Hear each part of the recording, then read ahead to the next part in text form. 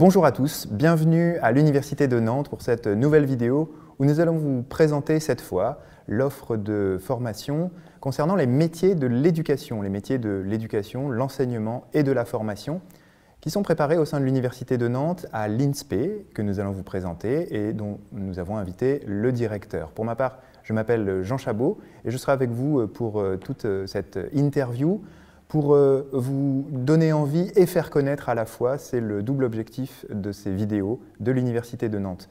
Nous accueillons donc Mohamed Bernoussi. Bonjour. Bonjour. Vous êtes le directeur de l'INSPE, qui est l'Institut national supérieur du professorat et de l'éducation à l'Université de Nantes. Est-ce que vous pouvez nous présenter l'INSPE? l'INSPE, c'est une structure récente qui date de septembre 2019, créée par la loi pour une école de la confiance et qui est en fait le successeur de l'école supérieure de professeurs et de l'éducation, l'ESPE, qui est elle-même le successeur de ce qu'on appelait avant l'Institut universitaire de formation des maîtres, l'UFM. Et donc c'est un institut national qui est académique. On est présent sur les cinq départements de la région et on relève de l'Université de Nantes comme université intégratrice beaucoup d'acronymes. Euh, les parents des internautes qui nous regardent connaissaient euh, les IUFM euh, pour la formation des maîtres. Il y a eu ensuite, vous l'avez dit, les SP, depuis 2013. Et c'est tout récent que ces SP sont devenus INSPE. Mais globalement, ça regroupe la même offre de formation, même si vous allez nous expliquer les détails. Beaucoup de choses ont changé dans la forme. Tout à fait, ça regroupe exactement la même offre de formation, mais c'est la volonté de législateur ou du gouvernement de mettre en place une formation nationale, donc d'où l'idée d'un institut national de la formation des professeurs et de l'ensemble du corps de l'éducation nationale. Les métiers de l'enseignement, de la formation, de l'éducation, est-ce que vous pouvez nous dresser un paysage de tous ces métiers-là auxquels euh, forme l'INSPE? Alors l'INSPE, c'est un institut qui est à la fois universitaire et professionnel. Et en fait, dès qu'on rentre dans l'INSPE, on rentre dans la carrière de l'éducation, de l'enseignement et de la formation. Et en fait, on prépare à la fois les professeurs des écoles, ce qu'on appelle le premier degré, qui vont enseigner de la maternelle jusqu'à la fin de l'élémentaire. On, prépare aussi les professeurs du second degré qui vont enseigner dans les collèges, les lycées et les lycées pro. Et on prépare aussi ce qu'on appelle habituellement les CPE, que les élèves connaissent très bien, c'est les conseillers pédagogiques de l'éducation, conseillers principaux d'éducation, pardon. Qui eux font l'objet d'une euh, d'une formation à côté. D'une formation à donc, part. Ça, c'est tout ce qui concerne l'éducation nationale. Et à mhm. côté, on ferme au métier de la formation qui est beaucoup plus large, qui peut être des formateurs dans les CFA, des formateurs dans différents... Alors les CFA, c'est des centres de formation par apprentissage, ou qui peuvent être des formations dans différents autres instituts que l'éducation nationale. Hmm. Donc beaucoup d'opportunités, euh, beaucoup de pas tant de métiers différents que de cibles différentes. Ça peut aller, euh, vous le disiez, avec les, formateurs de la formation professionnelle formeront euh, des salariés ou des apprentis. Euh, et puis, euh, euh, les, enseignants pourront former des collégiens, des lycéens, des maternelles. Et des enfants de maternelle. Voilà, exactement. Alors, la particularité avec l'INSPE, c'est que vous abritez des masters. Le master MEF, métier de l'enseignement, de l'éducation et de la formation. Et que les internautes qui nous écoutent, s'ils sont au lycée en ce moment, il va falloir qu'ils fassent un, effort d'imagination, de projection pour se rendre trois ans plus tard euh, dans leur vie, puisque c'est à ce moment-là qu'ils intégreront le master. Avant cela, ils auront trois ans à, faire. Euh, comment conseillez-vous de s'orienter pour accéder au master ensuite? Que prépare l'INSPE Alors ça commence tout de suite en par la vocation, enfin, ou l'envie de l'élève d'être un enseignant ou d'être euh, un personnel de l'éducation nationale. Donc si cette envie existe, après la voie est relativement facile. Donc on commence au niveau du master, donc on recrute des étudiants qui ont une licence, mais dans la mesure où l'offre est relativement large, donc il y a différentes licences qui peuvent conduire à ces masters. Euh, je prends par exemple quelqu'un qui veut être professeur des collèges et des lycées, donc il va être professeur d'histoire géo, il va être professeur de mathématiques, il va être professeur euh, de français, et dans ce cas-là, bah, la licence de maths va préparer davantage pour être professeur de mathématiques, la licence d'histoire va être préparée pour l'histoire, et donc en fait toutes ces diversités de licences qui existent dans les universités préparent à ce master de second degré. Quand on veut être professeur des écoles, enseigner en maternelle ou enseigner en primaire, enfin en élémentaire, là c'est de la polyvalence. Donc en fait, il y a des licences qui, ont, qui sont soit polyvalentes, soit des licences qui sont à dominante, je dirais, lettres ou dominante mathématiques, puisque c'est quand même lire, compter et écrire. Donc, mhm. c'est les, éléments qu'on apprend dans au moins le premier cycle, enfin, en maternelle et puis en primaire. Donc des licences comme celle-ci qui comportent souvent, et ça existe au niveau de l'Université de Nantes, au niveau des différentes universités, un parcours de pré-professionnalisation qui apporte les compléments. Et on va trouver une licence de lettres avec un parcours professorat des écoles qui apporte le complément d'un certain nombre de mathématiques ou, de, sciences, etc., qui permet de préparer pour ces enseignants de premier degré. Mmh. Alors ça, c'est pour le, choix des licences. Euh, vous nous décrivez cela comme un, parcours à prévoir dès après le bac. Est-ce qu'il est possible de se tromper? C'est-à-dire de commencer par une licence d'histoire euh, et puis euh, finalement de ne pas vouloir se spécialiser dans l'enseignement de l'histoire, mais plutôt de vouloir enseigner dans les écoles? Est-ce qu'on pourra toujours se présenter à la sélection au MEF Est-ce qu'on pourra peut-être se réorienter et recommencer une autre licence euh, ailleurs à l'université ah, Complètement, en fait, au niveau du MEF premier degré. Alors, MEF second degré, c'est beaucoup plus. Il y a quand même une spécificité disciplinaire. Donc, globalement, pour ce qui est premier degré, pour devenir professeur des écoles, la licence de départ a un poids, mais il n'est pas déterminant. En revanche, si on veut devenir professeur de collège et des lycées, la nature de la licence et la spécialité de la licence a un poids déterminant pour la sélection. Est-ce qu'il y aura euh, au niveau du bac des spécialités attendues euh, à préparer euh, plutôt que d'autres, parmi les, les 12 spécialités du nouveau bac? À notre niveau, non. Ça a peu d'impact puisque finalement c'est la nature de la licence qui va déterminer l'entrée. On regardera peu la spécialité du bac. On a intégré une licence. En fonction du public choisi, premier degré, second degré, on s'est orienté dans telle ou telle licence, en fonction de ses goûts aussi. Hein. On ne peut pas se forcer à faire trois ans d'études, c'est trop difficile sur le long terme en tout cas. Euh, vous, vous sélectionnez des licences pour le, master dont on a parlé, le MEF, M-E-E-F. Quel est le processus de sélection? Alors, les attendus pour rentrer au MEF sont divers. Il y a sept critères qu'on regarde. Premier critère, c'est la licence. Avoir une licence, euh, soit comme diplôme, soit pas validation d'acquis. Et puis après, accessoirement, la nature de la licence en fonction du parcours qu'on veut faire après. Deuxième critère, est-ce qu'on a eu une expérience avec des enfants ou dans le milieu Les stages? Donc on peut faire des stages dès la licence. Est-ce qu'on a fait des stages dans les écoles? Est-ce qu'on a suivi Est-ce qu'on a suivi des parcours de professionnalisation?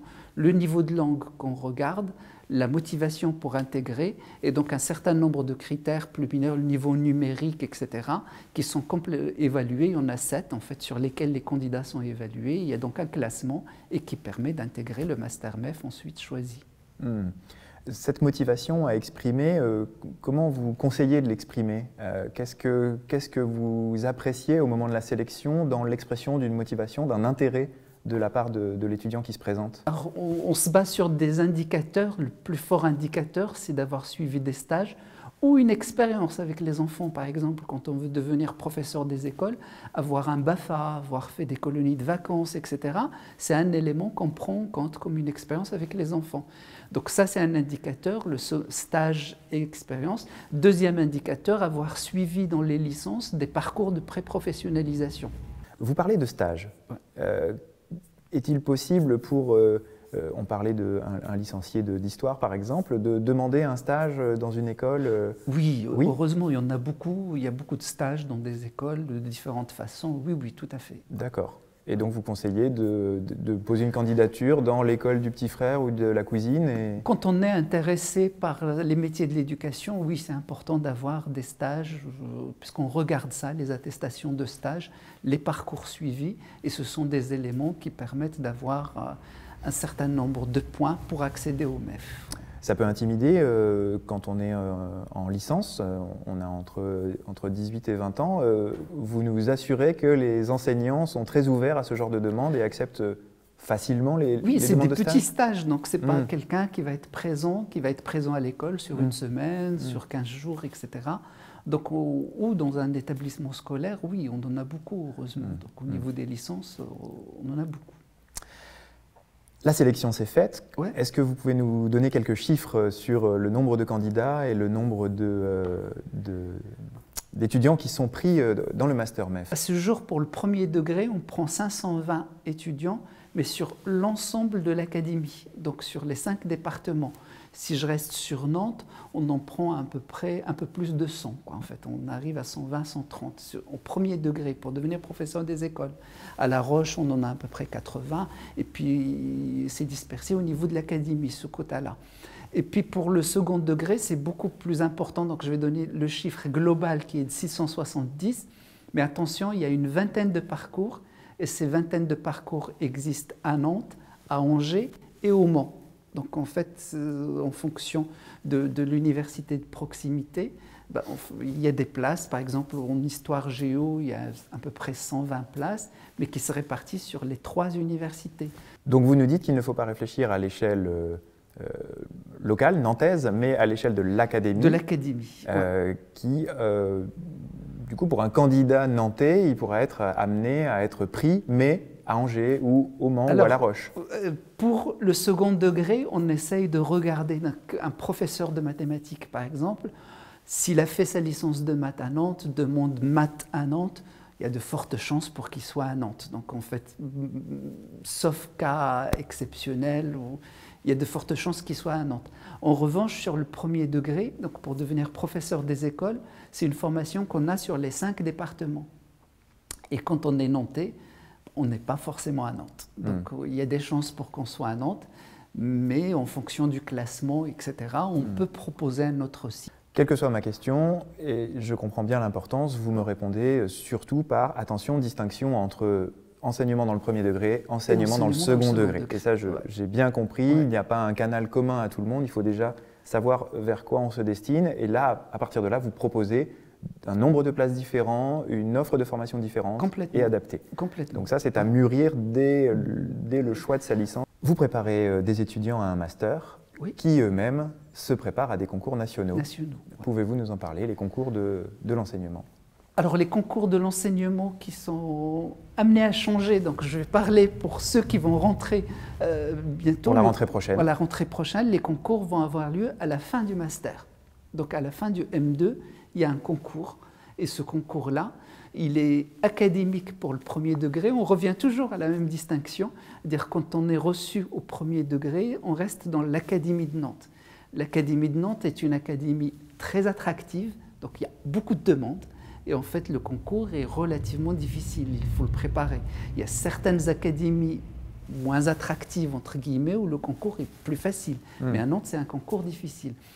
Au second degré, c'est un concours national. Donc, on peut préparer à Nantes et se retrouver ailleurs qu'à Nantes, ou préparer ailleurs et se retrouver à Nantes. Et ce concours se déroule à la fin du M2. Là, tous les concours sont en train d'être redéfinis. En règle générale, il y a une admissibilité qui se fait à l'écrit et une admission qui se fait à l'oral. Et donc ce qu'on évalue, c'est les compétences disciplinaires, mais aussi des compétences professionnelles qu'on apprend à l'INSPE, ce qu'on appelle les gestes professionnels, gérer une classe, etc. Et ce sont des compétences professionnelles qui sont évaluées à la fois à l'écrit et à l'oral. Hmm. Euh, si par malheur on n'est pas pris euh, à ce concours, euh, on peut se réinscrire et continuer ses études? Alors, dans le format actuel, ça se faisait presque naturellement, parce que le concours était en M1. Ceux qui réussissaient le concours devenaient en deuxième année de master fonctionnaires stagiaires et avaient une formation de fonctionnaire stagiaire. Et ceux qui réussissaient pas le concours poursuivaient en M2, donc comme étudiants, et mmh. repassaient le concours en M2. Mais là, tout change Là, tout change, donc ça va être à la fin du master. Donc à la fin du master, les étudiants proposent, passent le concours, le passent, le réussissent, deviennent fonctionnaires stagiaires, ne le réussissent pas, bah, la question va se poser sur les modalités qu'on devrait mm. mettre en place pour leur permettre au moins de préparer une autre fois ce concours-là. Mais là, ce n'est pas encore défini, on parle de 2023-2024. Mm. Mm. Quel est le rythme de travail de ceux qui préparent les concours? C'est un concours, comme je le disais tout à l'heure, difficile, donc il y a une formation qui est très bien faite à l'INSPE, puisque quand on regarde les statistiques de réussite de nos étudiants, ils sont très bons pour ce type de concours. Mais c'est un rythme, c'est un concours, donc c'est un rythme de travail assez dur et mm. qu'il faut le préparer de façon sérieuse. Très intense. Ouais. Ouais, il faut, s'attendre à ça, il faut s'y préparer. Si, si, on prend les taux de réussite brut, c'est 25% donc, de taux de réussite. Quelqu'un qui a suivi l'INSPE a une chance sur quatre de le réussir. Au niveau national Pour le premier degré. Pour d'autres, les chances sont beaucoup plus importantes. Pour le second degré, sont beaucoup plus importantes. Mais quand on regarde parmi la promotion des reçus, ceux qui étaient à l'INSPE, combien ça représente, on passe du minimum de 60%. Donc le concours le plus difficile, il y a 60% de ceux qui sont reçus ont suivi un, parcours de l'INSPE, à d'autres parcours où il y a pratiquement 98% de ceux qui sont reçus ont suivi un parcours de l'INSPE. Et puis j'attire l'attention sur quelque chose dont je n'ai pas parlé, mais dont les concours sont relativement attractifs et qui peuvent réussir aussi, c'est des lycées professionnels. Dire des gens qui veulent enseigner dans un lycée professionnel et qui ont la particularité d'être bidisciplinaires. Donc c'est pas on va faire euh, langue et histoire, on va faire euh, et, donc là ce sont des, concours qui attirent peu de monde à l'entrée. Mhm. Donc au niveau de ces masters, on a peu d'entrants, alors que les taux de réussite sont très bons. Un mot pour finir sur les possibilités d'études en alternance. Alors, ça va devenir une règle très simple parce que la réforme installe, dès le M2, en fait un stage en alternance. C'est-à-dire l'étudiant qui va s'inscrire en M2 MEF, et c'est spécifique qu'en M2 MEF, va avoir un contrat d'alternant avec l'éducation nationale. C'est-à-dire il, sera, il aura 12 semaines en fait à faire un stage en responsabilité il aura en responsabilité une classe et il sera payé sur un an par l'éducation nationale. Et en fait, ce stage en responsabilité qu'il va faire de 12 semaines, ben, il sera co-encadré par un tuteur d'établissement et un tuteur de l'INSPE. Et donc, c'est ce qu'on appelle, dans le jargon actuel, des étudiants alternants. Dès le M2, les étudiants vont être des étudiants alternants. Ils auront une classe en responsabilité et ils seront à l'INSPE pour la formation. Alors, pendant leurs études, c'est 12 semaines. Mais une fois qu'ils réussiront le concours, bah, ça va être soit temps plein, soit mi-temps, la responsabilité. Très bien. Eh bien merci beaucoup, Mohamed Bernoussi. Merci à vous. De nous avoir éclairés. À bientôt. À bientôt.